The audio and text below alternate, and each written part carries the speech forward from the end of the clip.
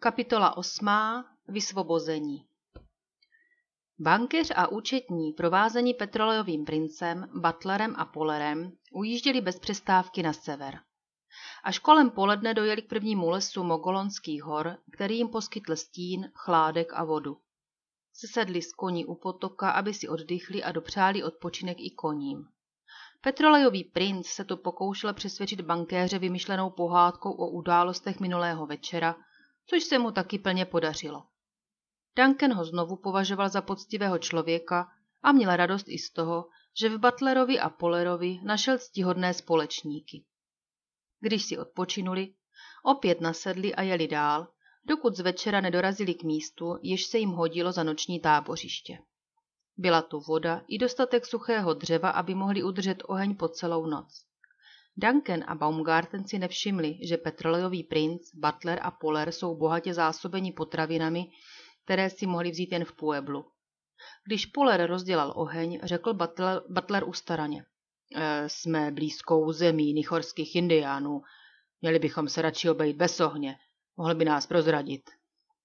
Žádné nebezpečí nám nehrozí, vysvětlil petrolejový princ. S Nichory jsem za dobře. Ale vykopali válečnou sekeru. To nic. Pro mě nejsou nebezpeční ani na válečné výpravě. No dobrá, ale žijí na sever odtud a na jich zase různé kmeny Apačů, které jsou s Nichory znepřáteleny.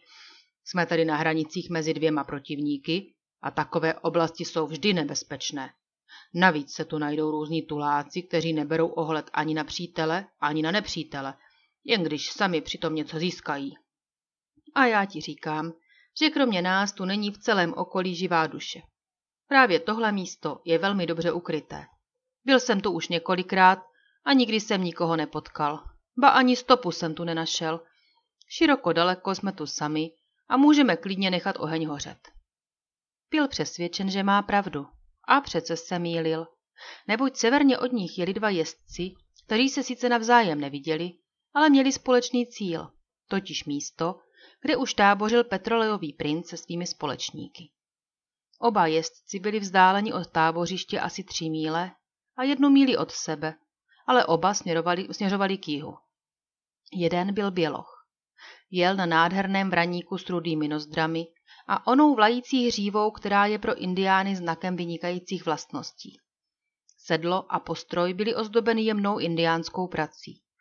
Jezdec nebyl ani příliš vysoký, ani ramenatý, ale šlachy měl jak z ocele a svaly ze železa. Plaví plnovou srámoval jeho opálenou vážnou tvář. Na sobě měl legíny s třepením a loveckou košili roztřepenou ve švech, vysoké boty až nad kolena a široký plstěný klobouk, jehož okraj zdobily konečky uší šedého medvěda. Za širokým koženým opaskem, spleteným z řemínků a plným patron měl zastrčené dva revolvery a lovecký nůž. Z levého ramene na pravý bok měl přehozené laso a kolem krku na pevné hedvábné šňůrce mu vysela dýmka míru ozdobená kolibřím peřím, v jejíž hlavičce byly vyryty indiánské znaky. V pravici držel krátkou pušku, která měla zvláštní uzávěr. Byla to pětidvacetiraná Henryovka. A na zádech mu vysela medvědobíka. Dvouhlavňová puška těžkého kalibru, jaké už dnes neexistují. Skutečný lovec prérie nedbá na lesk a čistotu. Čím je ošuntělejší, tím větší čest, neboť tím víc zažil. Na každém, kdo se stará o svůj zevnějšek, se pohlíží si s tím pohrdáním, ale nejvíc se mu protiví vyleštěná puška. Podle jeho soudu zálesák nemá čas na takové zbytečnosti. Na tomto muži však bylo všechno tak čisté, jako by se byl včera vydal ze St. Louis na divoký západ. Jeho zbraně, jako by byly před necelou hodinou opustili ruce těch, kdo je vyrobili. Boty měl bezvadně vyleštěné a na ostruhách nebylo ani stopy porzy. Jeho oděv neprozrazoval útrapy cesty a měl čistě umytou nejenom tvář, ale i ruce. Opravdu ho bylo možno považovat za svátečního lovce. A lidé, kteří ho neznali nebo ho viděli poprvé, ho skutečně za svátečního lovce považovali. Ale jakmile uslyšeli jeho jméno, uvědomili si svůj omyl, neboť to nebyl nikdo jiný než Old Shatterhand, slavný a statečný lovec, neochvějný přítel indiánů a současně nejneúprosnější nepřítel všech zločinců, jichž se vždy hodně potulovalo a dodnes ještě potlouká za řekou Mississippi. Old Shatterhand bylo jeho válečné jméno, odvozené z anglického slova šetr, drtit. Proléval krev nepřítele jenom tenkrát, když to bylo nevyhnutelné, a ani pak ho nezabil, ale jen poranil. I když se nezdálo, že je tak silný, v pěstním boji obvykle svého protivníka srazil jedinou ranou do spánku. Odtud jeho jméno, jež mu dali bílí i rudí lovci. Jeho nádherný vraník se jmenoval Hatátitla a pačský blesk a daroval mu jej jeho pokrevní bratr Vinetu. Druhý jezdec, který jel asi jednu míli západně od něho, byl Indián. Kůň, na němž seděl, se podobal koni Olčetrhenda jako vejce vejci. Jsou lidé, kteří zapůsobí na člověka hlubokým, nesmazatelným dojmem hned na první pohled, ještě dřív, než promluví. Tak taky působil tento indián. Měl na sobě loveckou košili z bílé kůže, ozdobenou červenou indiánskou výšivkou. Legíny z téže kůže měl ozdobené dlouhými střapci vlasů ze skalpu. Ani na košili, ani na kalhotách neměl nejmenší poskvrnku nebo špínu. Na malých nohou měl perlami vyšívané mokasíny, ozdobené ostny dykobraza. Na krku mu vysel drahocený váček s medicínou, umělecky vyřezávaná dýmka míru a trojitý řetěz z drápů šedého medvěda, obávaného dravce skalnatých hor. Kolem štíhlých boků měl široký opasek z drahocené saltilové přikrývky. Z opasku, tak jako u Olče Trhenda, trčely dva revolvery a skalpovací nůž. Hlavu měl obnaženou, dlouhé, husté, modročerné vlasy měl zčesané v přilbovitý vrkoč a propletený kůží chřestýše. Ani orlí péro, ani žádné jiné rozlišovací znamení nezdobilo jeho vlasy a přece bylo už na první pohled jasné, že tento indiánský bojovník je náčelník a ne obyčejný. Rysy jeho mužné, vážné tváře bylo možno nazvat římskými. Lícní kosti mu jen lehce vystupovaly, rty v bezvousem obličeji byly plné, jemně vykrojené a světle hnědá pleť měla bronzový nádech. Před sebou, křížem přes sedlo, měl pušku, jejíž pažba byla hustě pobytá stříbrnými hřebíky. Kdyby ho byl potkal nějaký zálesák, hned by ho byl poznal podle této pušky, která bývala předmětem debat u táborových ohňů. Na divokém západě existovaly tři pušky, jejichž slávu žádná jiná nepřevýšila. Byla to Olče Trhendova Henryovka, jeho medvědobíka a Vinetuova stříbrná puška. Tento indiánský jezdec byl tedy Vinetu, náčelník Apačů, nejvěrnější a nejobětavější druh svých přátel a současně i nejobávanější odpůrce všech svých nepřátel. Na koni neseděl běžným způsobem, ale skoro mu vysel na krku, jako by vůbec neuměl jezdit. Zdálo se, jako by jeho pohled stále upřený na zem byl unavený a zasněný. Ale kdo ho znal, věděl, že má neobyčejně bystré smysly a že jeho očím neujde ani nejmenší maličkost. Tu se náhle napřímil a právě tak rychle zalícil svou stříbrnou pušku. Třeskla krátká, ostrá rána. Vinetu zabočil s koněm ke stromu, zajel těsně ke kmeni, stoupil si na sedlo, sáhl do dutiny daleko nejspodnější větve a vytáhl odtamtud to, po čem střelil. Bylo to zvířátko velikosti středního psa se žlutošedým kožíškem, jehož chloupky byly na konci černé. Chvost měl o polovinu kratší než tělo. Byl to vodní medvěd, neboli mýval. Američany nazývané kouty nebo raccoon a pro lovce je to nejvítanější pečínka. Sotva uchopil kořist, ozval se východně od něho druhý výstřel, který měl hluboký a neobyčejně těžký zvuk. Uf, zamumlal indián překvapeně. A kaj, a selky lata. Tento výkřik v řeči Apačů znamená, tam je Old Shatterhand. A ku podivu, taky Old Shatterhand jel zdánlivě lhostejně, pohroužen do sebe, ale když zazněl Apačů výstřel, zarazil koně a řekl, to byl zvuk stříbrné pušky. Rychle uchopil svou medvědobíku a opětoval výstřel, takže Vinetu hned poznal svého přítele.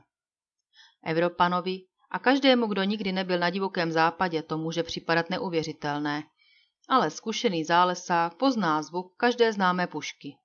Smysly má vytříbené, neboť na nich stokrát závisel a ještě bude záviset jeho život. Kdo si nedovede smysly takto vycvičit, je ztracen. Jak různě zabarven je lidský hlas. A přece známého poznáme podle hlasu mezi tisíci. A co například psí štěkot? Nepoznáš svého Rexe, Cezara nebo Nera podle hlasu? A tak je to i se zbraněmi. Každá má jiný, svůj vlastní hlas. To však rozná jen cvičené uko, ucho. Když padly výstřely, podle nich se oba přátelé poznali, změnili i hned dosavadní směr jízdy a vyjeli si naproti. Old Shatterhand zamířil na západ a Vinetu na východ. Setkali se na malé mítince, seskočili z koní a objali se. Jak se má duše raduje, že se už dnes setkává se svým bílým bratrem, pravil Vinetu. Měli jsme se sejít až pozítří na Fornerově ranči. Mé srdce po tobě už dlouho touží a mé myšlenky ti běží už dlouhé dny v ústrety. I já jsem šťasten, že se setkávám se svým nejlepším a nejšlechetnějším přítelem, odpověděl Old Shatterhand. Toužil jsem po tobě. Chyběl si mi od chvíle, kdy jsme se rozloučili. A teď, když tě vidím před sebou, je má duše klidná. Jak se měl můj bratr po celý ten dlouhý čas? Slunce vychází a zapadá. Dní přicházejí a odcházejí. Tráva roste a usychá, ale Vinetu je stále týž. Mnoho toho zažil můj bílý bratr od chvíle, kdy jsem ho viděl naposledy. Mnoho. Ne všechny dny jsou krásné a mezi květinami prérie se najdou i jedovaté. Tak tomu bylo i doma, ve vlasti. Musel jsem bojovat se závistí a nenávistí, se zlobou, posměchem a škodolibostí, ale duch a duše zůstaly silné. Jsem stále tím, kým jsem byl. Až usedneme k ohni, budeme si vyprávět o tom, co jsme prožili. Ví můj bratr o místě, kde bychom si dobře odpočinuli? Ano. Pojedeme-li ještě hodinu cesty, dojedeme k malému potoku, do něhož se vlévá přítok. Tam, kde tento potok pramení, je místo obklopené ze všech stran křovím, jímž nepronikne ničí oko.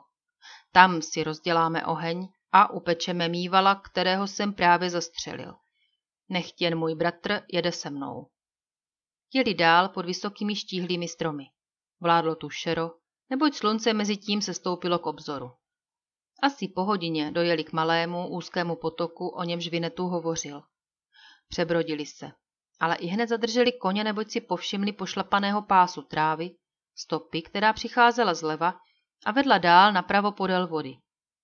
Sesedli, aby si prohlédli a proskoumali stopu a po chvíli se zase oba napřímili. Pět jezdců, řekl Old na dost unavených koních.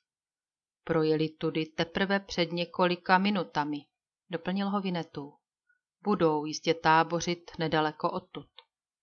Musíme se podívat, kdo to je. Můj bratr jistě ví, že byl vykopán válečný tomahavk. Musíme být opatrní. Zajeli k nedalekému hustému křovisku, zavedli do něj koně, aby je skryli, uvázali je a přiložili jim ruce na nozdry. Pro indiánsky vycvičené koně to znamená, aby byli tiší a neprozradili se hlasitým frkáním. Pak se vrátili k potoku a pomalu a tiše šli po stopě. Oba se uměli mistrovsky plížit a využít každého stromu, každého keře a záhybu potoka ke krytí. Nešli ještě ani pět minut, když se Vinetou zastavil a nosem zhluboka vtáhl vzduch. Old Shatterhand rovněž začichal a ucítil dým. Jsou docela blízko a rozdělali oheň, zašeptal Vinetuovi. Jsou to určitě běloši. Indiáni by byli opatrnější a nevybrali si tábořiště otevřené po větru. Apač přikývl a postupoval dál. Potok se nyní vinul mezi stromy, pod nimiž rostla dost vysoká křoviska. Oběma lovcům skrýval, skýtal znamenitý úkryt. Brzy uviděli oheň.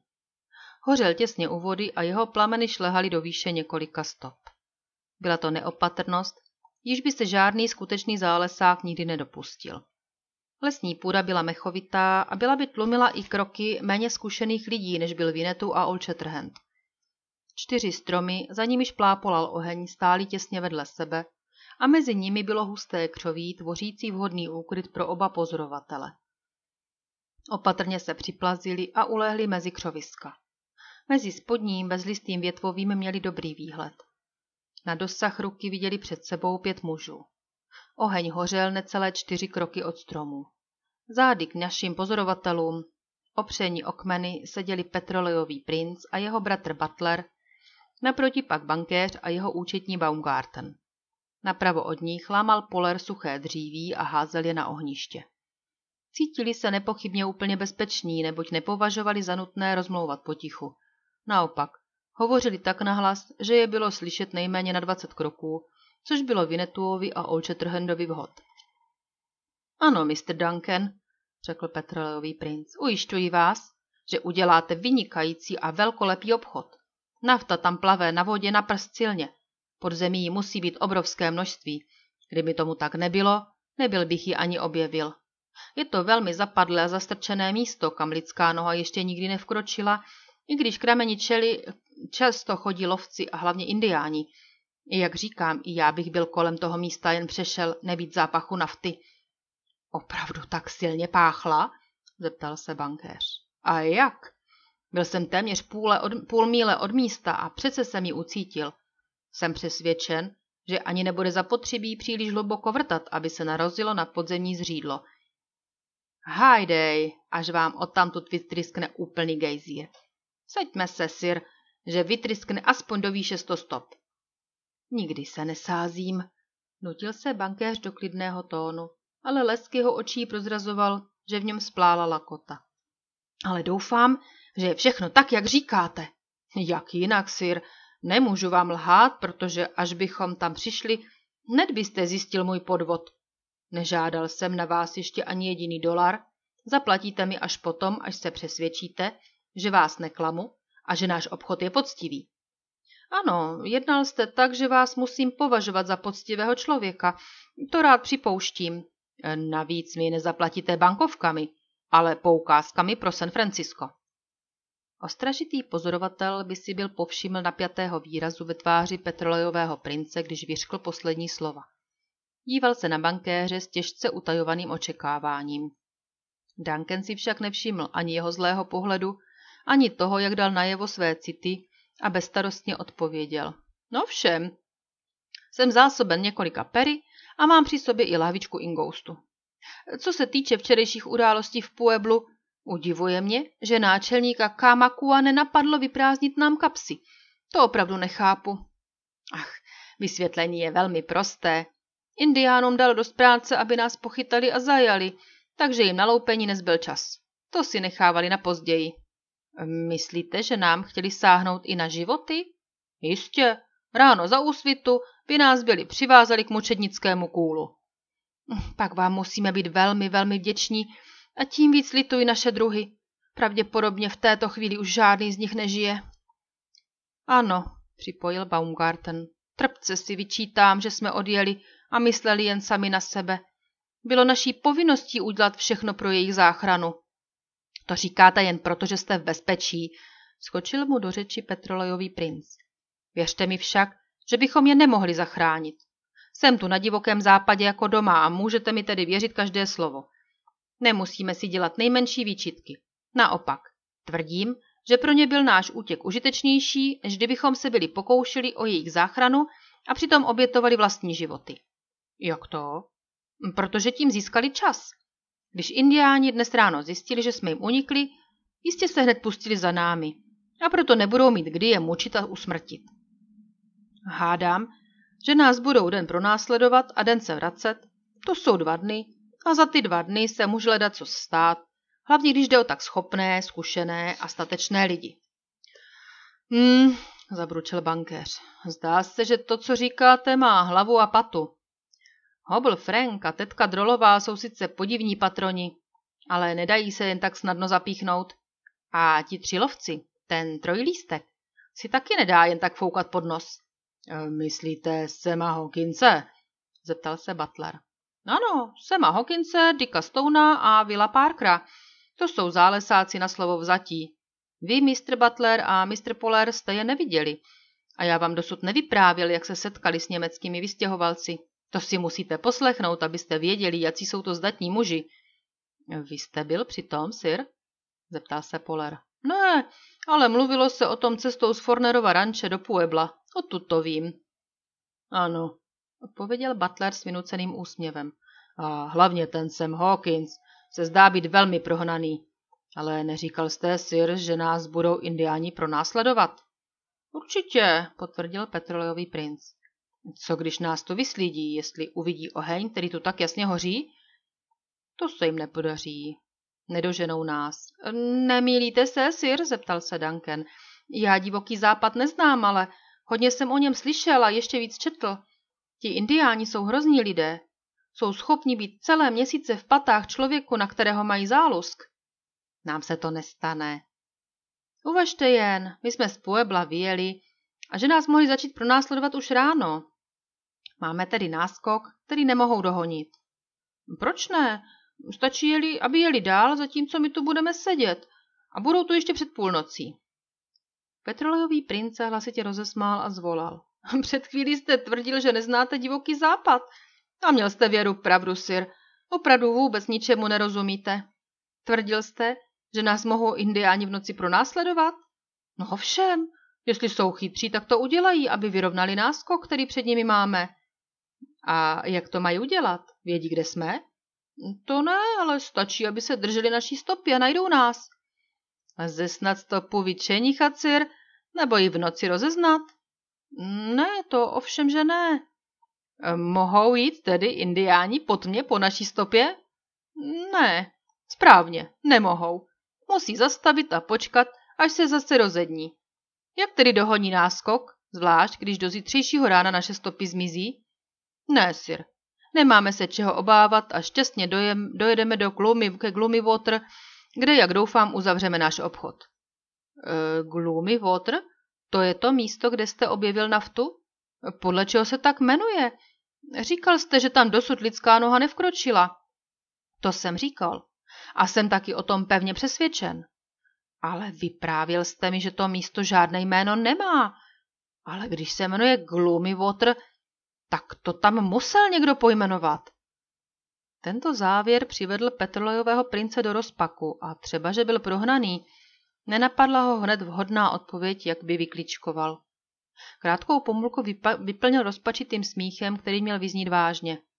Měl štěstí, že ho přerušil jeho nevlastní bratr Butler. Mr. Duncan, vy si určitě myslíte, že se vám povedla velmi duchaplná poznámka. Duchaplná? podivil se bankéř. Ne, to nemyslím, ale rozhodně byla věcná. Místo má své jméno, to znamená, že už tam musel někdo být před Mr. Grinlim. Jak vidíte, jsou tu určité rozpory, které nemohou ujít mé pozornosti. Ale tyto rozpory lze lehko vyřešit. Ten někdo, o němž mluvíte, byl náš Mr. Grinley, petroleový princ. Ach, vyhrkl bankéř překvapeně. Ano, to byl on, kdo pojmenoval to místo Gloomy Water, protože... Protože, vpadl mu do řeči rychle petrolový princ. Okolí je velmi ponuré a ona skoro úplně černá.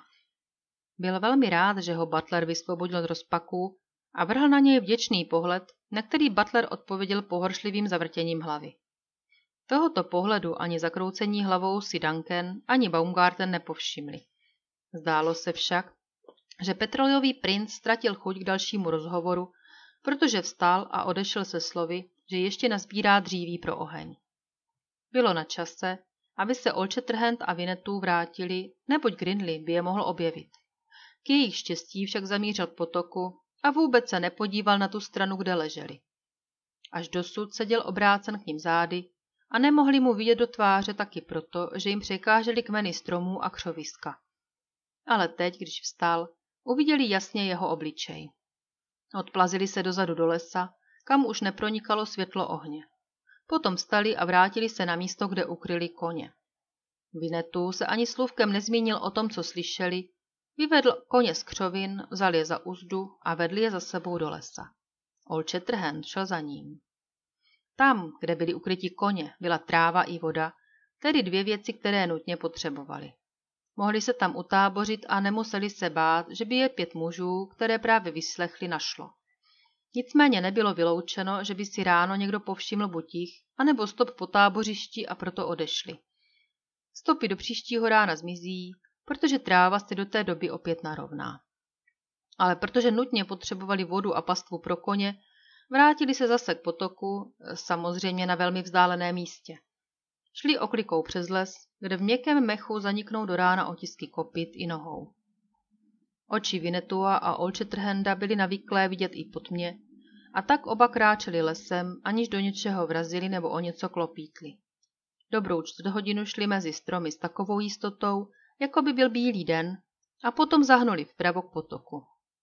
Přesně na místě, kam přišli, vtékala do potoka malá bystřina. Přebrodili potok a šli proti proudu bystřiny až k prameni, o němž Vinetu mluvil a kde se chtěl utábořit. Jaký neobyčejně vycvičený orientační smysl musel mít Vinetu, když našel pod mě a uprostřed lesa pramen. Koním sněli sedla a nechali je volně pást. Mohli tak učinit, neboť oba vraníci byli věrní jako psi, poslouchali na nejtižší povely a nikdy se nevzdálili od svých pánů. Teprve teď padlo první slovo. Vinetu se zeptal. Má můj bratr nějaké jídlo? Kousek sušeného masa, odvětil Olčetrhent. Nevzal jsem si sebou víc, neboť jsem se chtěl zítra zastavit v Kamakově Pueblu. Nechť si můj bratr maso uloží. Upečeme si rakůna, kterého jsem zastřelil. Po těch slovech se Apač vzdálil. Olčetrhent se neptal, kam jde. Věděl, že Vinetu teď obejde okolí pramene, aby se přesvědčil, jestli je bezpečné. Vrátil se asi po deseti minutách a přinesl náruč suchého dřeva, což znamenalo, že na blízku není nepřítel. Ani Olčetrhendovo neobyčejně ostré ucho nezaslechlo praskot lámaných větviček, což byl opět důkaz Vinetuovi nevšední šikovnosti. Zanedlouho hořel oheň, ale malý, podle indiánského způsobu. Oba muži si k němu přisedli a stáhli zmývala kůži.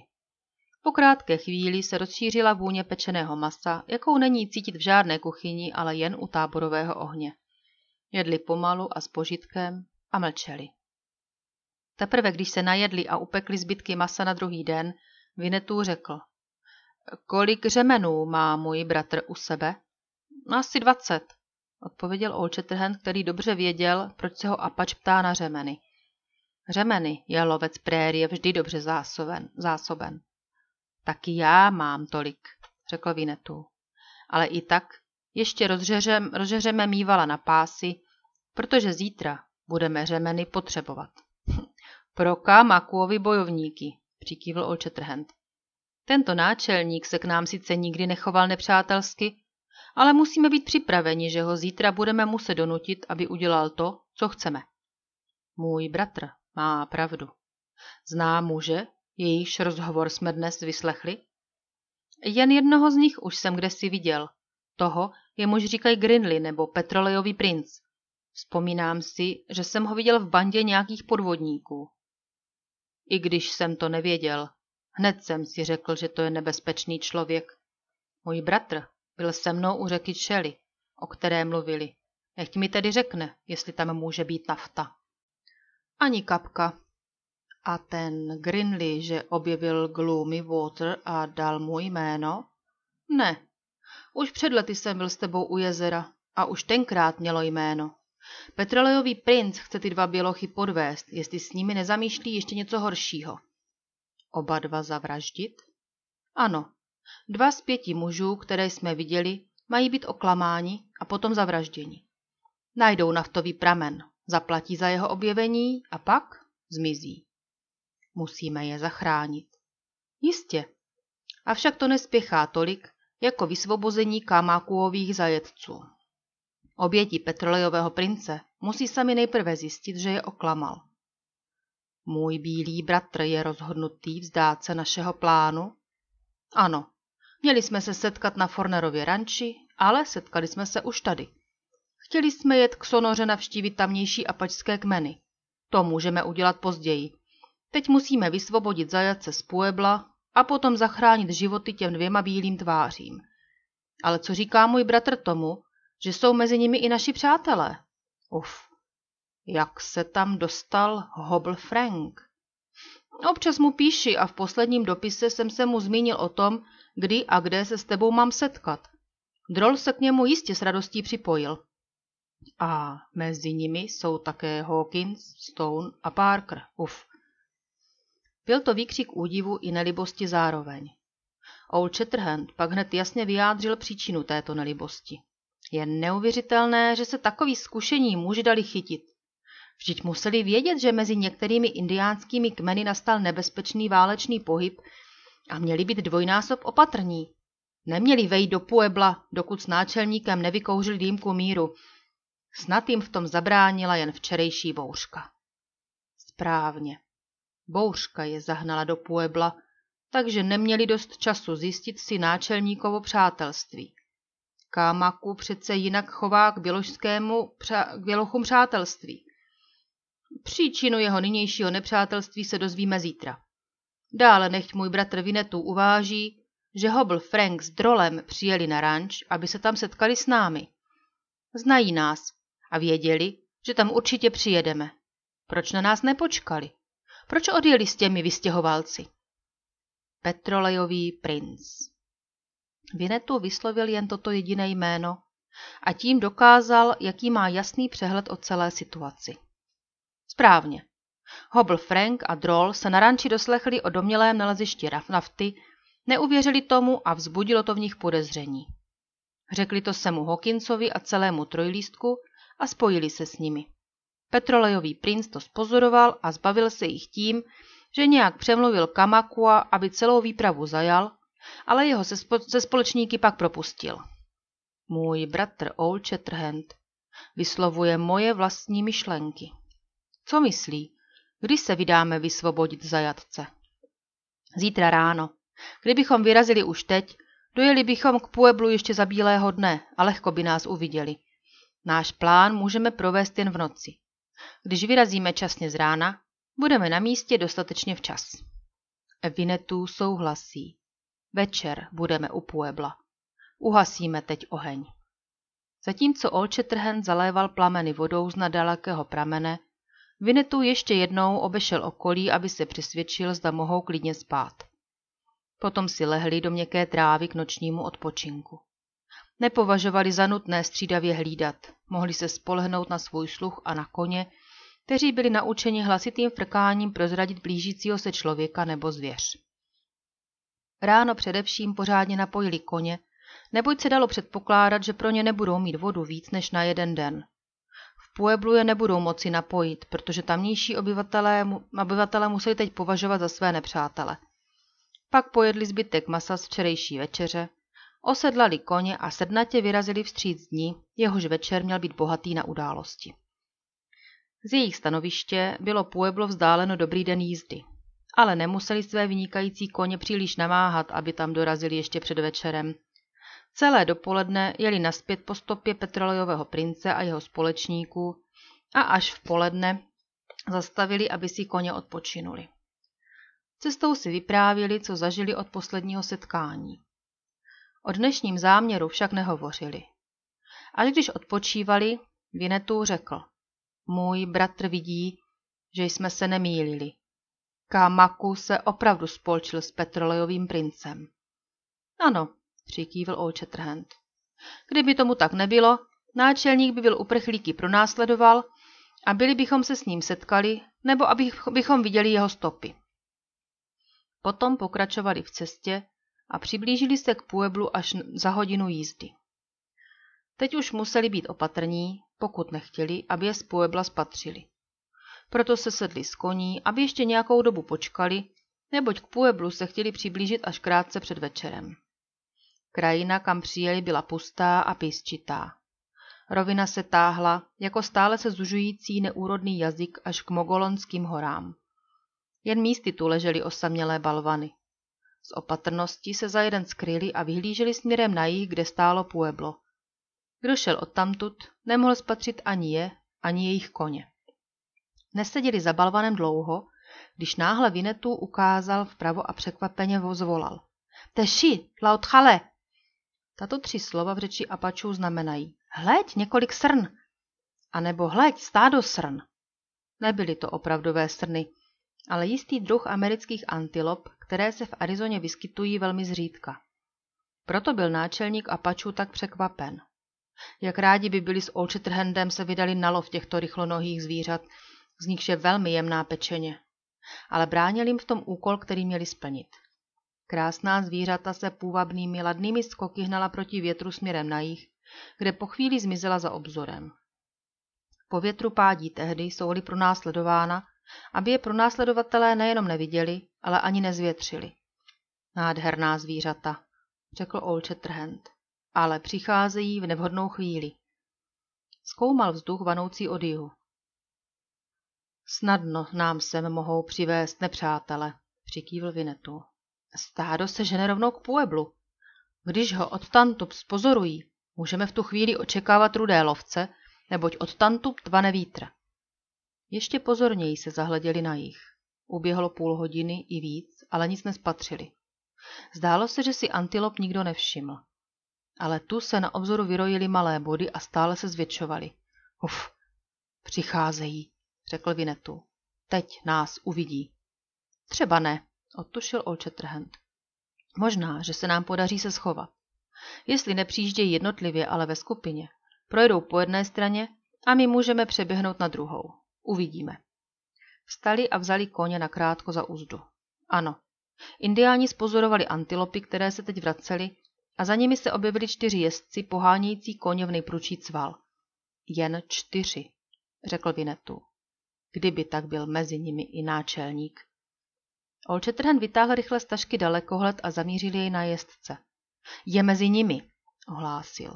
Jede na nejrychlejším koni a je první. To je dobré, zvolal Apač a oči mu zasvítily. Zajmeme ho? Ano, ale nejenom jeho, ale i ty tři ostatní. Uf.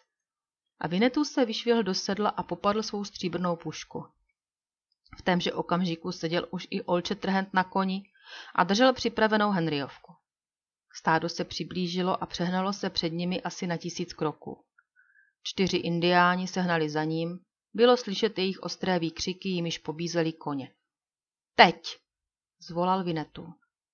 Současně s tím výkřikem se vyřítil spolu s Olčetrhendem proti indiánům, kteří byli ohromeni, když se jim do cesty postavili dva jezdci. Stůjte! zvolal Olčetrhend a spolu s Vinetuem přitáhli koním uzdy. Kam jede Kamaku a jeho bojovníci? Indiánům se jen s námahou podařilo zastavit koně a náčelník rozněvaně vzkřikl. Proč nás zdržujete? Teď jsme přišli o maso. Ani tak byste ho nedostali. Co pak se loví rychlonohé antilopy stejně jako pomalý prérijní vlk?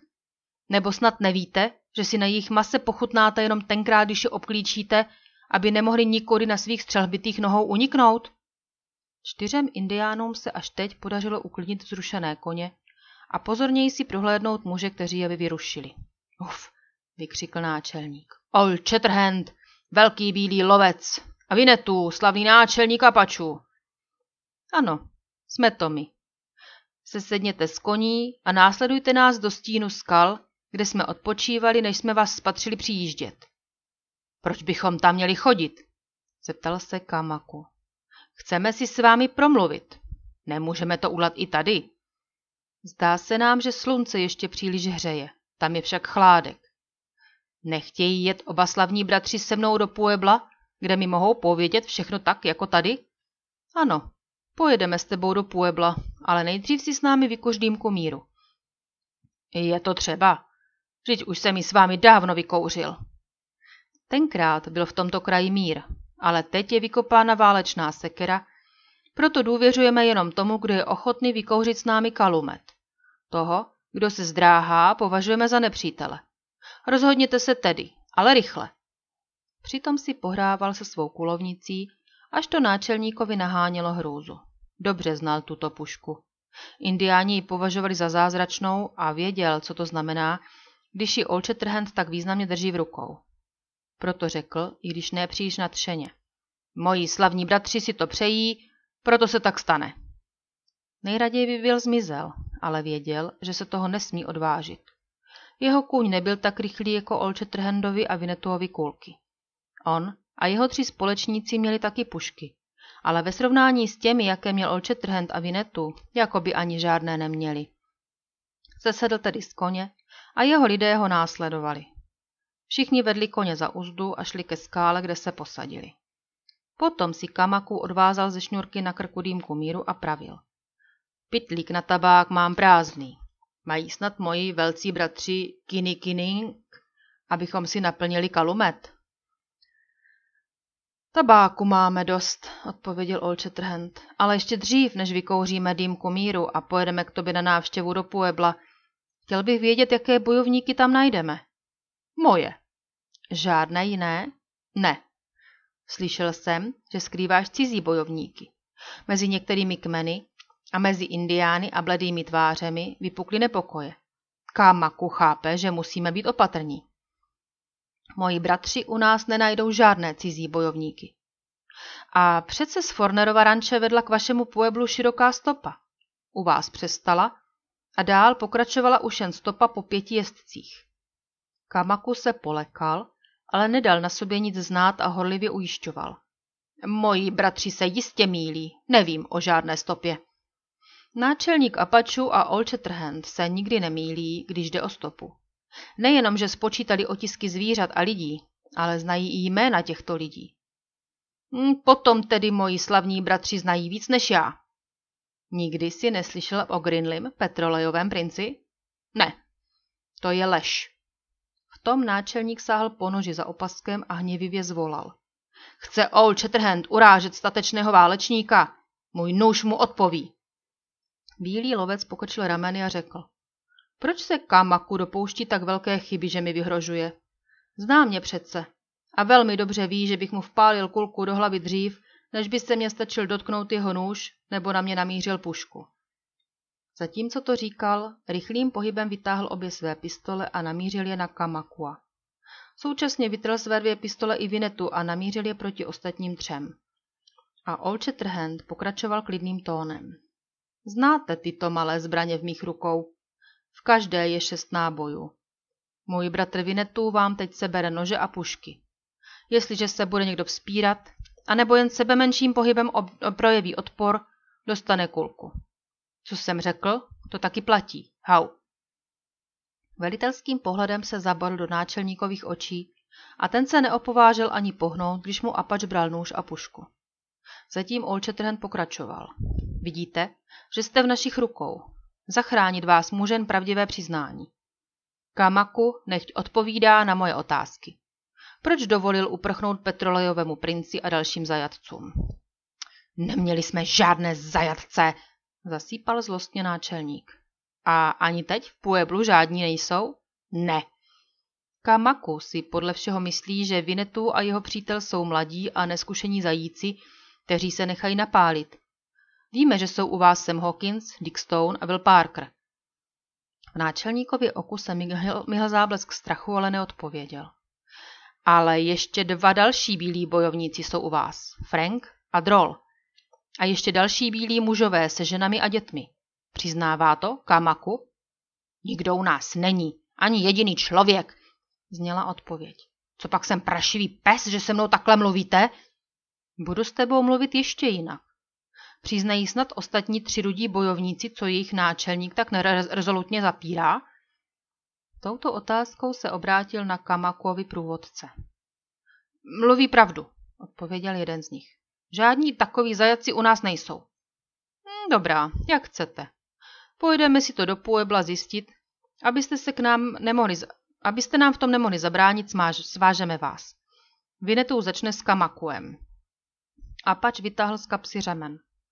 V tom Kamaku vyskočil a zuřivě zvolal. Mě? Svázat? Jenať...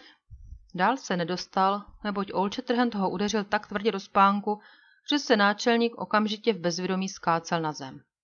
Byl to úder, jemuž slavný zálesák vděčil za své jméno. Výhružně se obrátil k ostatním třem. Tady vidíte, k čemu vede odpor. Chcete taky ochutnat mou pěst? Hrozba zapůsobila na indiány tak, že se dali bez odporu svázat. Potom i Kamakuovi spoutali nohy a ruce.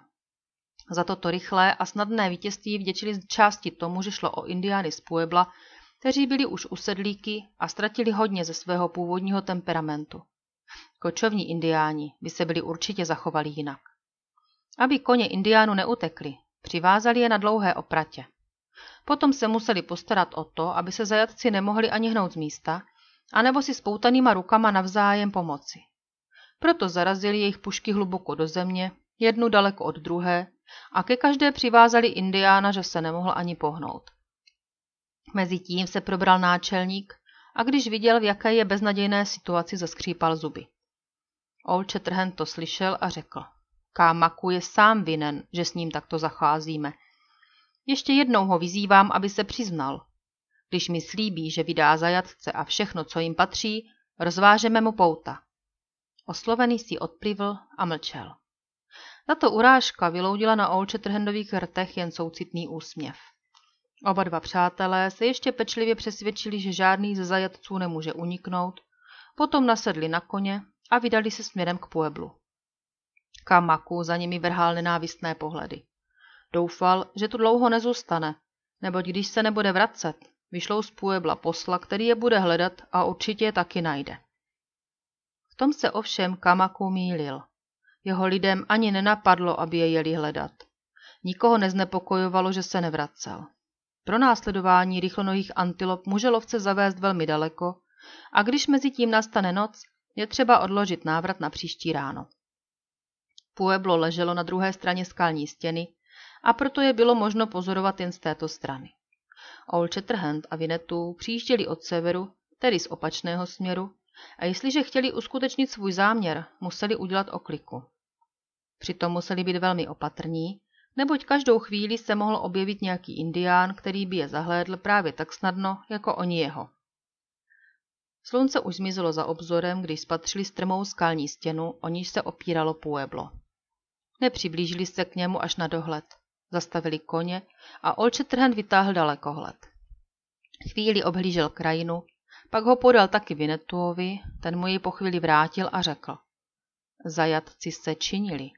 Viděl můj bratr otvor, který je ve zdi ve druhém poschodí?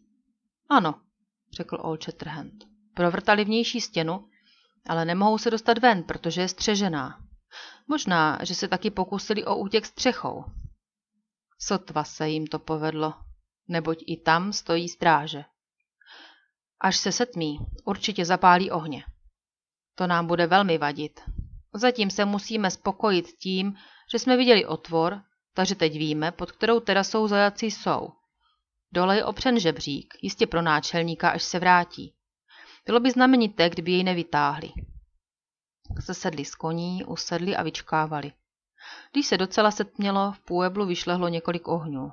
Uvázali koně a zvolna zamířili k místu, kde měli dnes uskutečnit opravdu mistrovský kousek.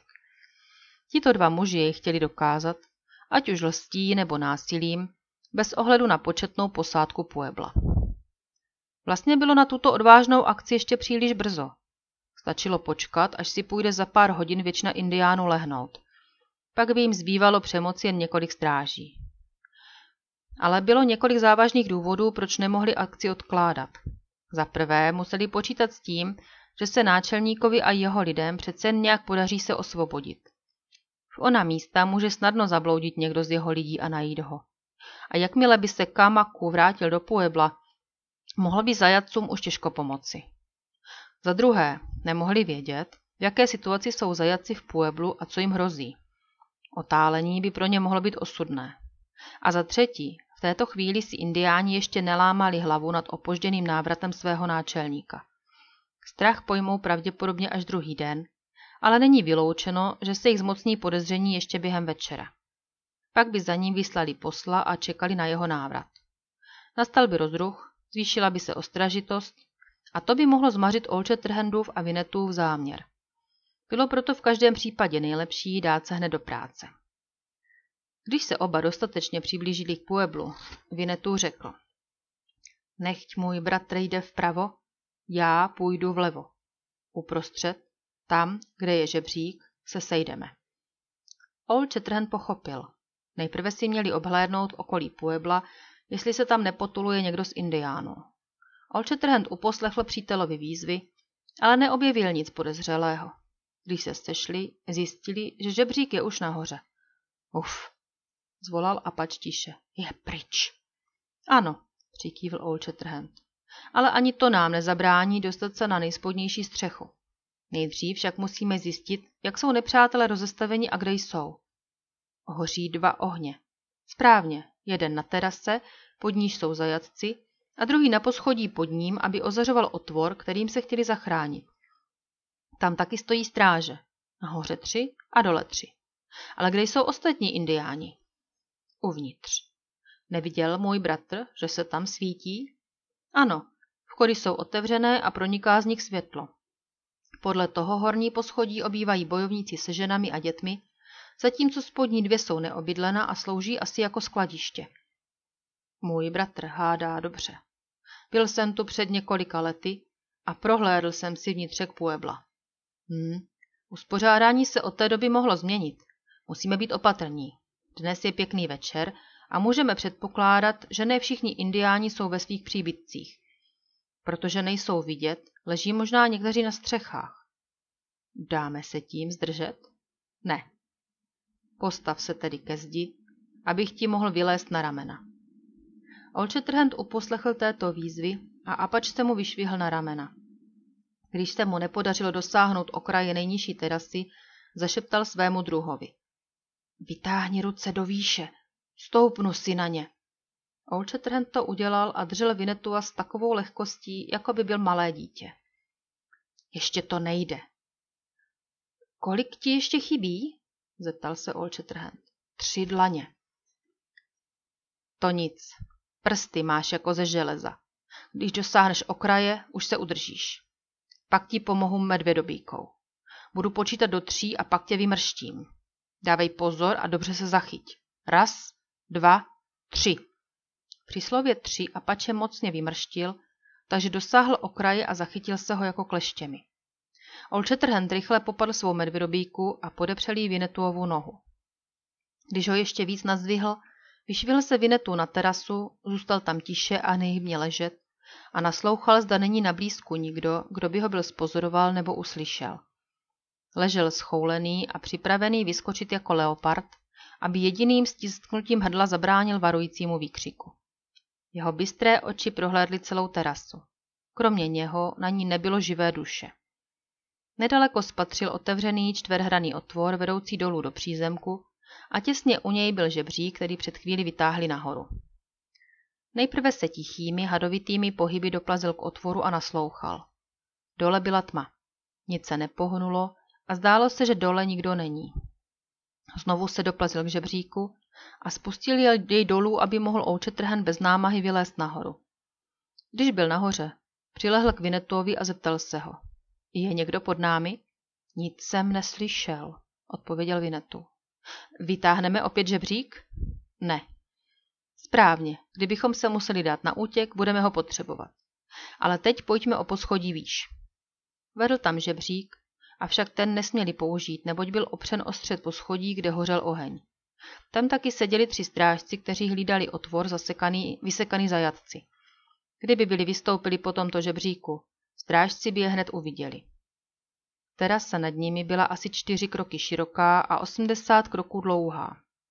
Oheň na ní byl podle indiánského zvyku nízký, takže nestačil ozářit krajní části terasy. Osvoboditelé se tedy museli dostat na pravou nebo levou stranu ploché střechy. Vybrali si levou část, sice pro nepatrnou, nicméně pro závažnou příčinu. Tři indiánští strážci totiž seděli tak, že dva byli obrácní tváří k otvoru, který měli střežit, a třetí se krčil na levo od nich, zachytával světlo plamene a vrhal na levou část terasy dlouhý stín. Tento stín umožňoval Olčetrhendovi a Vinetuovi, že se mohli nepozorovaně přiblížit. Vytáhli tedy žebřík, který vedl z prvního poschodí do přízemí a odnesli ho na levý konec terasy. Museli si počínat na nejvýš opatrně. Potom žebřík opřeli o zeď a vystoupili. Nahoře zůstali chvíli ležet a obhlíželi terasu. Strážci jsou sami, zašeptal Apač. Ano, a to je dobré, poznamenal jeho bílý přítel. Ale i tak to bude těžké, neboť se nemáme kde skrýt. Přece stín. Well, ale to nestačí. Můžeme se k ním přiblížit na nejvýš na 20 kroků a jak se chlapík, který vrhá stín pohne, padne světlo i na nás a hned nás spatří. Odvrátíme jejich pozornost na druhou stranu. Čím? Kamínky? Ano. Dobrá, jestli jsou dost hloupí, nechají se oklamat. Těch dvacet kroků musíme ale zdolat blesku rychle. Toho, co je k nám obrácen zády, srazím okamžitě k zemi. A ty se pak postaráš o druhého a já o třetího. Ale bez nejmenšího hluku, varoval Vinetu. Samozřejmě, jinak stačí, aby se jeden z těch, co stojí nahoře, podíval dolů a jsme prozrazeni. V tom případě musíme nejprve omráčit ty dole a pak další tři nahoře. Když zneškodníme i je, máme volný přístup k zajatcům. Ale když způsobíme hluk, bude celé Pueblo na nohou. Vinetu a Olčetrhent by se ani pak nezalekli. Uhasili bychom ohně, takže by nás neviděli a nemohli po nás střílet. Dobrá, teď tedy kamínky. Bylo velmi prospěšné, že Olčetrhen nadhodil tuto otázku už teď. Neboť později je opravdu spozorovali a tu mohli jednat v naprosté shodě, aniž ztráceli drahocený čas otázkami. Teď šmátrali rukama po plošině a nazbírali potřebné množství kamínků. Potom si lehli a plazili se ke strážcům. Old Shatterhand to správně odhadl. Asi 20 kroků před strážemi se museli zastavit. Vinetu se lehce nadzdvihl a házal jim kamínky za hlavu, takže dopadali na druhou stranu. Šramot, který kamínky způsobili, byl sice nepatrný, ale stráže ho zaslechli, otočili se vpravo a naslouchali. Půjde to, zašeptal Old Shatterhand. Jsou dost hloupí. Odvrátíme od sebe pozornost. Vinetu hodil ještě několik kamínků a strážci soustředili pozornost na pravou stranu, neboť měli za to, že je tam nějaká živá, snad i nepřátelská bytost. Teď, řekl Olčetrend tiše. Vstali. Pěti, šesti dlouhými kroky, ale zcela tichými, skoro, nehlučnými, se přiblížili ke strážcům. Pěst silného bílého lovce dopadla na hlavu prvního tak mocně, že bez nejmenšího hlesnutí klesl na zem. V příštím okamžiku drželi za hrdla druhého a třetího. Pevné sevření, několikrát do spánku a i tito dva se svalili v bezvědomí. Rychle je spoutali a do úst jim strčili roubík. To se tedy podařilo, zašeptal Old. Teď rychle žebřík k otvoru, za nímž jsou zajatci. Chci si s nimi promluvit. Můj bratr Vinetu ať zatím nespouští oči z poschodní nad námi. Na okraji terasy by se mohl objevit strážce. Opatrně vytáhl žebřík z nižšího poschodí, opřel jej k otvoru o zeď a stoupal nahoru. Strčil hlavu do otvoru a zvolal, ale tak, že ho mohli uslyšet jen ti uvnitř. Seme Hawkinsi, Dicku Stone a Ville Parkere, je někdo z vás tady? Naslouchal a znitra uslyšel hlas. Poslouchejte, venku kdo si mluví, u otvoru je nějaký člověk. Jistě nějaký rudý lotr, poznamenal jiný. Pošli mu kulku. Nesmysl, vpadl mu do řeči třetí. Indián by se neodvážil tak pěkně držet hlavu. Bál by se, že mu sfoukneme světýlko života, jestli se nemýlím. Musí to být někdo jiný. Někdo, kdo nás chce zachránit. Třeba sám Olčetrhend, anebo Vinetu, puste mě. Podle slov, jestli se nemýlím, Olčetrhend poznal, kdo mluví, a proto se zeptal. Seme Hawkinsi, jste to vy? To si myslím, odpověděl hlas znitra. A kdo jste vy? Old Shatterhand. Hajde, je to pravda. Yes, chceme vás vysvobodit. Chcete? Mluvíte v množném čísle. Nejste tedy sám? Ne, je se mnou Vinetu. Thank you. Úzkostlivě jsme vás čekali. Sir, ale jste vy opravdu Old Shatterhand? Nebo se jmenujete Mr. Grinley, petrolejový princ? Přece mě poznáváte podle hlasu starý samé. Hlas jsem, hlas tam. V téhle díře zní jeden hlas jako druhý. Zvláště když mluvíte tiše. Prokažte se. Čím? Máte při sobě svou Henryovku? Ano. Taky jsem strčce, strčte, ať si na ní sáhnu.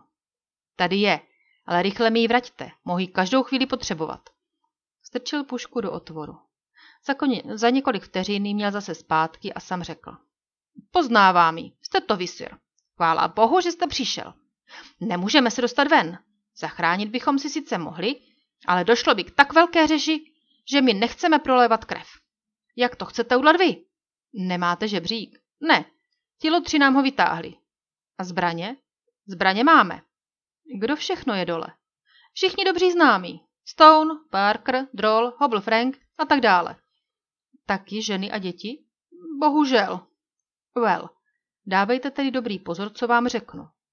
Nejdřív, ať vylezou děti. ale nesmí ani muknout. Potom ženy, které doufám budou taky sticha. Za nimi ti, kteří neznají západ a mají málo zkušeností. Radil bych, aby ti to byli v bezpečí první, dřív, než nás tu někdo spozoruje. Byli tu tři strážci, které jsme přemohli. Nad námi jsou rovněž tři, kteří nás mohou velmi snadno překvapit. Kdyby se to stalo, musím rychle zasáhnout. Vyjdu nahoru a omráčím je. Když se mi to podaří, uvolním otvor, spustím vám žebřík a po něm výjdou ostatní ven. Musíte mi přitom pomoct, rozuměl jste? Všemu. Tak tedy do toho. Čekám nejprve děti. Po chvíli se v otvoru objevil chlapec. Old Shatterhand ho vytáhl a podal Vinetuovi a ten chlapce postavil ke stěně. Totéž se stalo s ostatními dětmi a pak i se ženami. Byla to těžká práce a Old Shatterhand musel na žebříku vynaložit všechny své síly. Když se to podařilo a Sam Hawkins ohlásil, že následují muži, nejprve němečtí přistěhovalci, Old Shatterhand řekl. Ti mou pomoc nepotřebují. Odejdu, abych dohlédl na ty tři strážce nad vámi. Sestoupil dolů k Vinetuovi, řekl mu na vysvětlenou několik tichých slov a těsně u zdi se protáhl nalevo k žebříku, po němž vystoupil na tuto plošinu. Vytáhl ho a opřel o další poschodí, aby na ně mohl vylézt. Když stanul nahoře, obhlédl ohněm ozářenou plochu, zahledl velké kameny, jimiž byl zavalen příklop. Vedle ležel žebřík, který indiáni vytáhli z otvoru předtím, než příklop zavalili. Druhý žebřík vedl k nejbližší terase. Strážci seděli tak, že dva byli k němu obráceni zády. Old Shatterhansen vystoupil proto, aby mohl okamžitě zasáhnout, kdyby byl útěk prozrazen. Až by se zajatcům do posledního muže podařilo dostat se na svobodu, chtěl zase nepozorovaně se stoupit. Ležel tedy tiše a naslouchal. Počítal, kolik času potřebuje jedna osoba na prolezení otvorem a kolik jich už může být venku. Právě si říkal, že už bude na řadě asi šestý, když nocí projel ostrý ženský hlas. Pro boha, kantore, neválejte se po mně!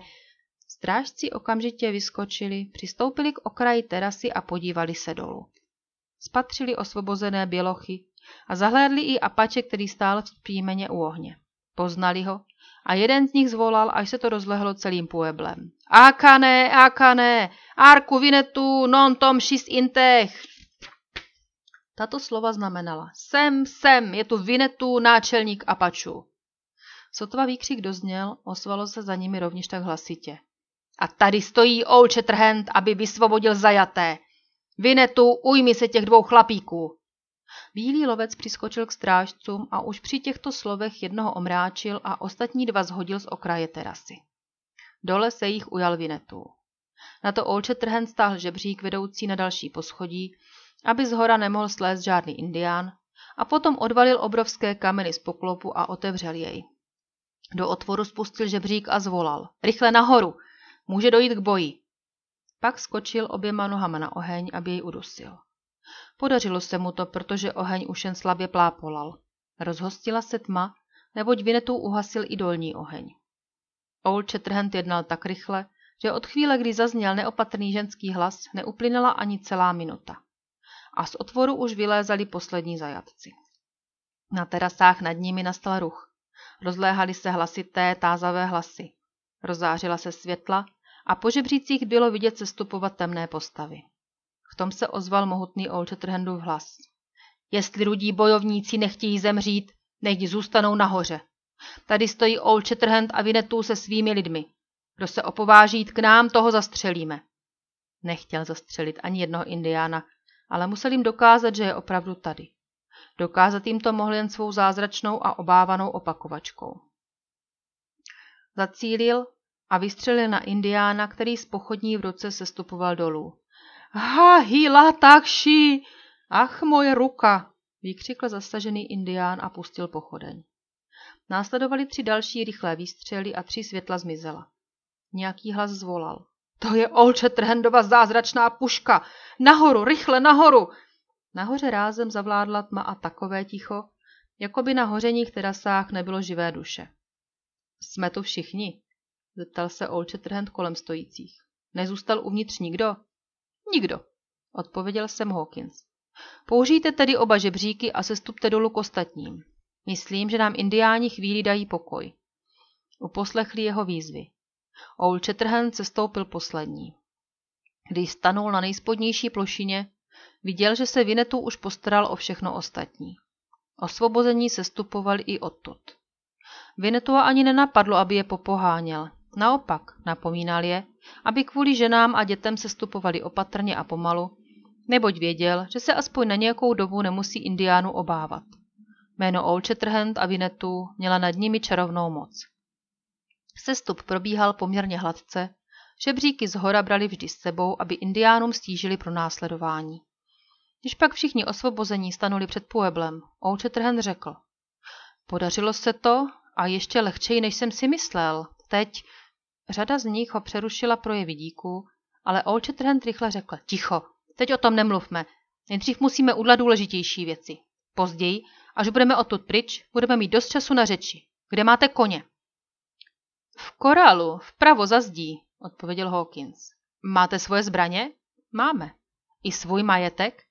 Co jsme měli u sebe, to nám nemohli vzít, ale co zůstalo v kapsách sedel, to si ti indiánští lotři jistě přivlastnili. Měli jste i mesky? Yes. Museli nést věci vystěhovalců. A kde jsou ty věci? Vůbec nevím. Bouře nás přepadla tak rychle, že jsme ani nestačili věci složit a odsedlat koně. Hm, kdybyste to měli všechno, co vám patří, mohli bychom hned odjet. Ale tak to musíme indiány přinutit, aby nám ukradené věci vrátili. Jsem Hawkins, nech jde se mnou do koralu. Ostatní počkají tady a dávají pozor na spodní terasy Puebla. Když se tam objeví indián, střelte po něm, ale nezasáhněte jej, rozumíte? Stačí, když uslyší hvíznout kulku kolem sebe. Nech vědí jen tolik, že tu stojíme a nepustíme je dolů. Můj bratr Vinetu zatím dojde pro oba naše vraníky. Apač odešel tiše jako vždy a Olčetren se s Hawkinsem odebrali do ohrady, kde byli koně. Když se ti tři vzdálili, kantor řekl. Toto jsou tedy ti dva hrdinové, které jsem vždy tak toužil poznat. Do tváří jim sice nevidím, neboť už je tma, ale už jen jejich vystupování se mi nesmírně líbí. V mé opeře budou zaujímat velmi významné místo. Jen si je nejprve pořádně okoukněte za denního světla, pravil Hobble Frank. Není to tak, jak jsem říkal? Stačí, aby se tito dva slavní mužové objevili a už jsme vysvobození. Velmi správně, přikývil drol. Byl to opravdu husarský kousek, že nás vysvobodili, aniž nám byl skřiven jediný vlásek na hlavě. Pa všechno by bylo šlo ještě hladčeji, kdyby byla paní Ebersbachová držela jazyk za zuby. Já?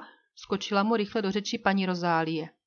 Myslíte si, že já jsem vina, že jsem vykřikla? Pravda, že kdo jiný? Kantor, ne já. Prosím, uctivě, ohrazoval se obviněný.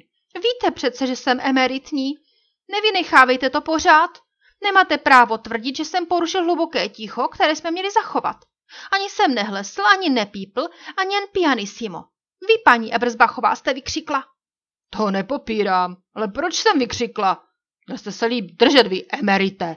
Až se budete chtít v budoucnu znovu kutálec příčlí, vyberte si k tomu aspoň takovou chvíli, kdy pod vámi nebude stát dáma. Jestli neudržíte v rukou pevněně své stupnice, pak lituji vaši krásnou hrdinskou operu, rozumíte? Rozumím, vážená, ale vy nerozumíte jedné věci. Totiž jak zdvořile jednat se synem můz. Slíbil jsem vám kdysi, že na vás budu myslet a měl jsem opravdu v úmyslu vložit do vašich úst sopránovou aharii. Ale takhle nebudete mít tu čest se v mé opeře objevit. Ne, ale co to říkáte? Snad si nenamlouváte, že mi opravdu záleží na tom, abych se objevila na prknech, která znamenají svět. Ani mě to nenapadá. A měla jsem zpívat soprán? Poslyšte s tím mi dejte pokoj. Když se mi chce zpívat, tak si nedám nic předepisovat a zpívám si, co chci, fagot, klarinet nebo bas, jak se mi zlíbí. A tím jsme my dva navždy skončili. Mějte se na věky krásně. Hluboce pobouřená se od něho odvrátila. Kantor chtěl ještě něco říct, ale Hobble Frank ho okřikl. Pst, buďte sticha. Zdá se mi, jako by se na prvním poschodí někdo plazil. Opravdu, zase se hýbe. Teď se zarazil a vystrkuje hlavu. Je to indián, chce se přesvědčit, kde stojíme. Hned mu to ukážeme. Zdvihl pušku, krátce zacílil a stiskl kohoutek. V té chvíli se právě vracel Olčetrhen se Sam Hawkinsem. Co se stalo? Kdo to vystřelil? zeptal se. Já, odvětil Frank. Proč? To je osudová otázka, na kterou rád odpovím. Na střeše číslo jedna stal rudý senior, asi chtěl vědět, kolik je hodin, a tak se mu ukázal, kolik odbije, když nevezme do zaječích. Hned zase zmizel. Zasáhl jste ho? Ne. Mířil jsem, mířil jsem asi dva lokte prav vpravo. Jestli měl uši čtyři stopy dlouhé, pak mu má kulka provrtala levý ušní boltec, což mu bude dost velkou výstrahou. Tak se tedy přece jen odvážili dolů až na první terasu. Je třeba se mít na pozoru. Musíme se držet v takové vzdálenosti, aby nás neviděli, nebo po nás budou střílet. Musí však vědět, že jsme tu a že je dolů nepustíme. Proto ať se Frank a Droll doplazí ke zdi a ulehnou těsně u ní. Když se budou dívat vzhůru, uvidí každou hlavu, která se objeví nad okrajem. Potom rychle vystřelit. Ale bez zásahu? Zeptal se Hobble Frank. Ano, nechci, aby někdo přišel o život. Pak si dám pozor, abych nevystřílel své krásné kulky do vzduchu. Radši si pušku nenabiju. Tu se od Olčetrhendovi přiblížil Šiso a poprosil ho. Pane, dovolte i mě jít třežit Pueblo. Šest očí vidí víc než čtyři. To je pravda, odpověděl lovec a zkoumavě se zahleděl mladíkovi do tváře, ale nepoznával ho. Zdáte se mi ale příliš mladý, máte nějaké zkušenosti? Jsem žákem svého otce, odpověděl Šiso skromně. Kdo je váš otec? Nicas Iny, náčelník navahů. Jakže? Můj přítel Velký Hrom? Pak jste tedy Šiso, o kterém jsem slyšel, že je v Německu. To jsem já. To je má ruka, mladý příteli. Jsem opravdu rád, že se s vámi setkávám. Jen co bude víc času, popovídáme si. Kdyby bylo jasněji, jistě bych vás poznal. Když jste Šiso, vím, že mohu klidně splnit vaši prozbu. Jděte tedy s Frankem a Drolem a rozdělte se tak, abyste mohli hlídat Pueblo po celé délce. Šiso odešel, hrdý, že bylo vyhověno jeho prozbě. Právě se vrátil Vinetu s koňmi, kteří byli přivázáni dost daleko od Puebla. Přistoupil k Olčetrhendovi a zeptal se. Slyšel jsem výstřel? Z čí pušky padl? Old Shatterhand mu řekl a pak pokračoval. Koně osvobozených jsem našel v korálu, ale všechna zavazadla, sedla i postroje jsou pryč. Musí být v Pueblu. Ano. Nemůžeme tedy odjet, musíme zůstat tady a donutit ty, aby nám všechno vrátili. To nebude tak těžké, když je náčelník v našich rukou. Dobrá, musíme ho přivést. Chce tu můj rudý bratr převzít velení? S Hawkinsem, Parkerem a Stonem bychom dojeli pro Kamakua. Nechť můj bratr jede. Až se vrátí, najde tu všechno v pořádku.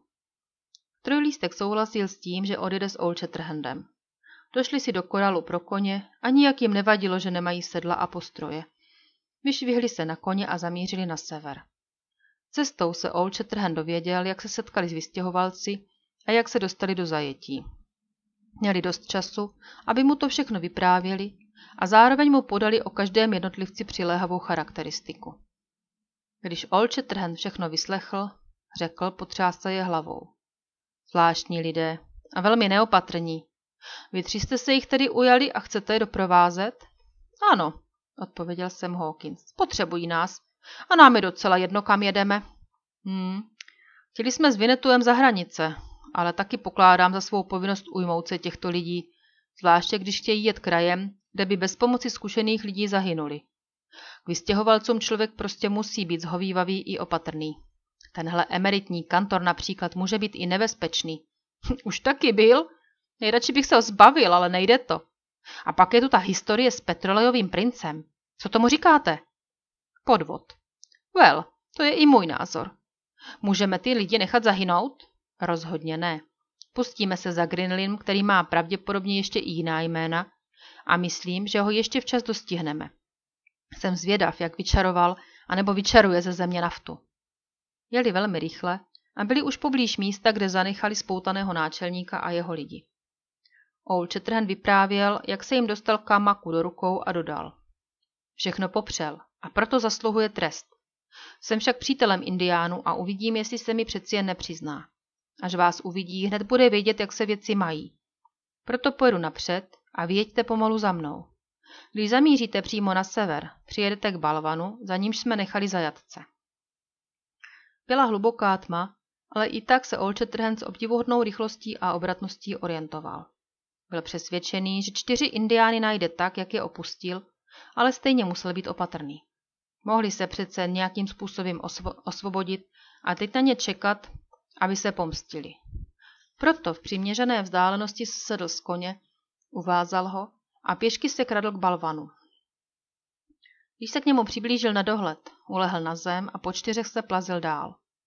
Zakrátko před sebou rozeznal velký, široký balvan, obešel jej a uviděl zajatce. Mohli však být volní a ležet v původní poloze jen proto, aby ho obelstili. A proto do, nehlučně dolezl k náčelníkovi, ohmatal pušku zaraženou do země, k níž byl přivázaný. Řemeny byly neporušené. Olčetrhen se napřímil a vstyčil se před zajatci, jako by vyrostl ze země. Makuovi byl asi dlouhý čas, začal hovořit. V ústech má roubík a nemohl proto s druhými muži mluvit.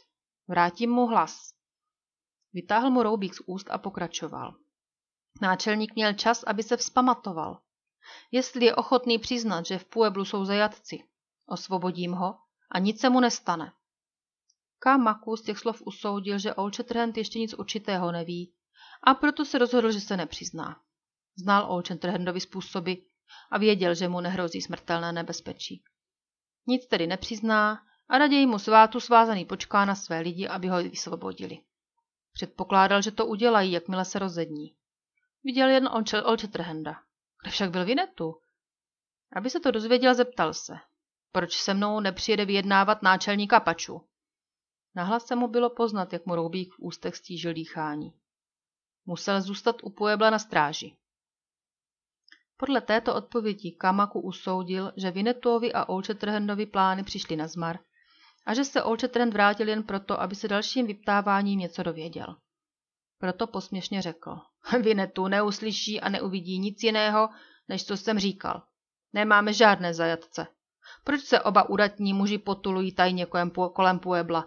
Proč nepožádají, aby je vpustili a nepřesvědčí se sami, že jsem mluvil pravdu? Protože vám nevěříme a jsme přesvědčeni, že byste zajali i nás. Uf, kam se poděla Olče Trhendova moudrost? Velký duch mu zatemnil mozek.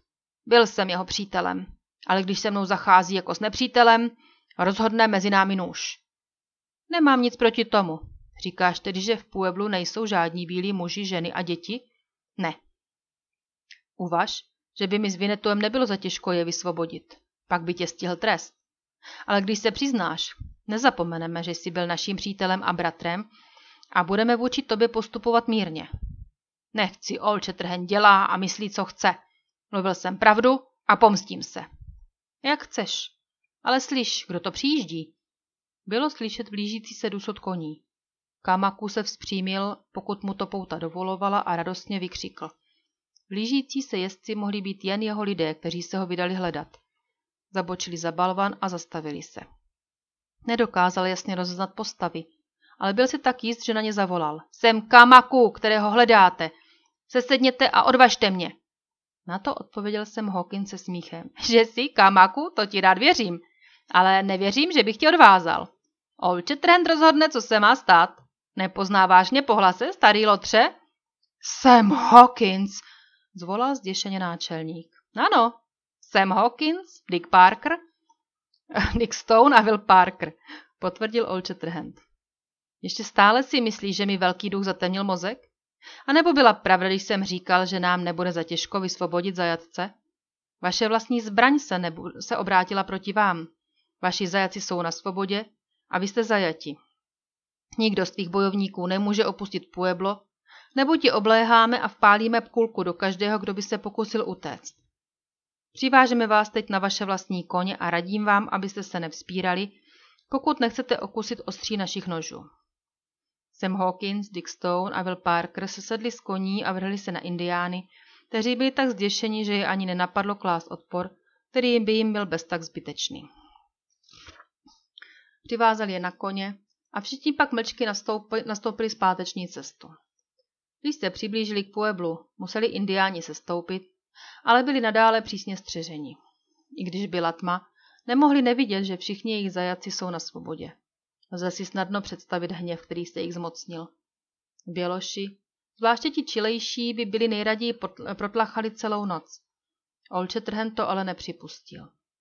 Upozornil je, že příští den je čeká dlouhá jízda A podařilo se mu je přesvědčit, aby si lehli, když předtím postavili stráže, které se měli každou hodinu střídat. Noc uběhla v klidu, indiáni se neodvážili opustit Pueblo ani na bělochy zaútočit. Za svítání bylo vidět, že se stáhli na horní terasy. Většina z nich spala, ale sotva se trochu rozednilo, stráže je probouzeli. Zhromáždili se nahoře a výhružně pokřikovali na bělochy, kteří už taky vstali. Nemohli vědět, že jejich náčelník je zajatcem bělochů. Vinetu a Olčetrhen se rozhodli, že se nebudou pouštět do dlouhých vyjednávání. Nesměli ztrácet čas, jestliže chtěli dohna, dohonit petrolejového prince, dokud nebude pozdě. Proto si šli promluvit s Kamakuem. Ostatní kolem nich utvořili kruh, aby si poslechli, co se bude mluvit, anebo když nerozuměli, aby aspoň okouněli. Vinetu vždy raději mlčel a mluvil jenom tenkrát, když to bylo nevyhnutelně třeba. A proto se ujal slova Olčetrhent. Kamaku jistě vidí, že všichni jeho zajaci jsou na svobodě. Náčelník neodpověděl. Proto ho zálesák výhružně napomenul. Nerad mluvím do větru. Chci s tebou jednat co nejmírněji. Když však nebudeš mluvit, bude to jenom tvá vina, že se budeme muset pomstít. Odpověz tedy. Vidím, že jsou na svobodě, zavrčel náčelník hněvivě. A že tvoji bojovníci jsou teď našimi zajatci? To nevidím. Ne? Může z nich jen jediný opustit Pueblo, pokud si to nepřejeme? Nemusíme strpět ani to, aby stáli na střechách. Naše pušky donesou až na nejvyšší terasu a můžeme je přinutit, aby se stáhli dovnitř Puebla. Kde tam vezmou potravu a vodu? Nebudou moci jít ke studnám ani do skladiště. Kromě toho máme v rukou tebe a tvé druhy. Co myslíš, co s vámi uděláme? Nic. Opravdu? Ano, neboť nikomu z nás jste neublížili. Za to mohou moji přátelé vděčit jen Vinetuovi a mně. Měli jste s nimi zlé úmysly. Chci to s tebou vyřídit zkrátka. Chybějí jim ještě mnohé věci, které jsou v Pueblu. Když nahradíte všechno, co se jim ztratilo, pustíme vás a odjedeme.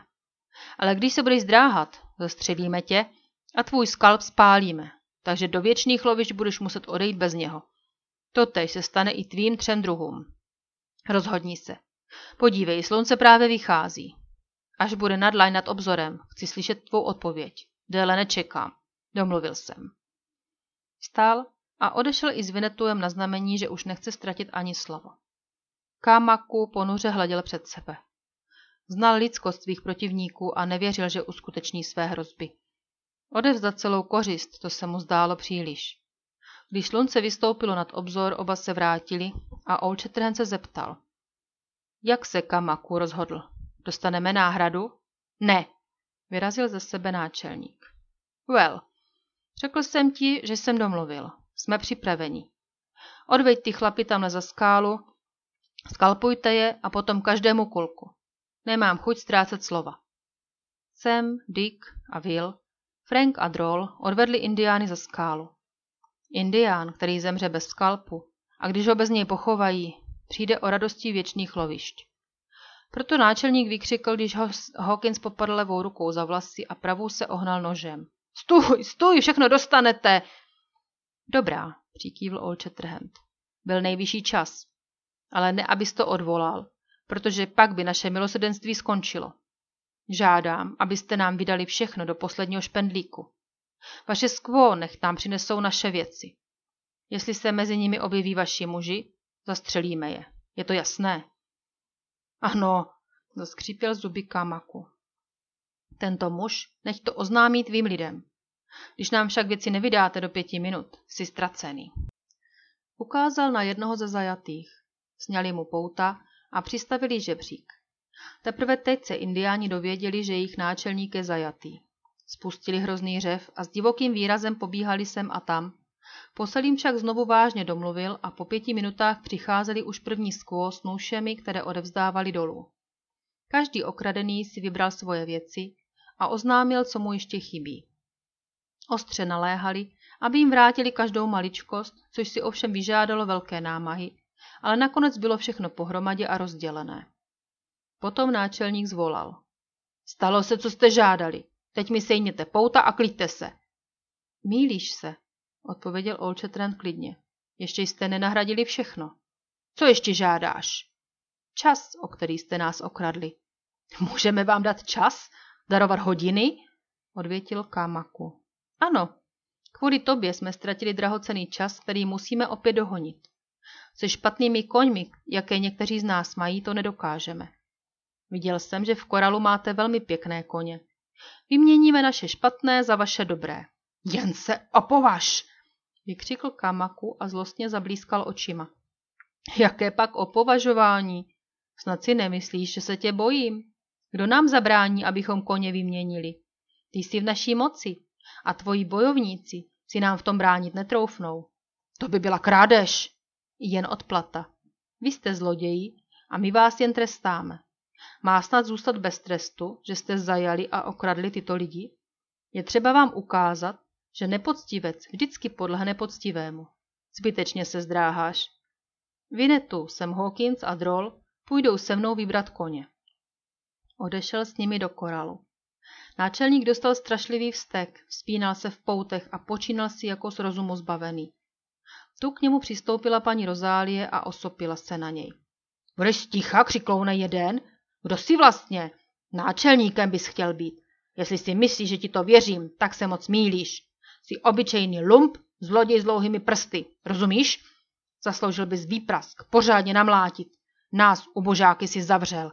A teď, když tě má stihnout spravedlivý trest, tváříš se jako stělesněná nevinnost.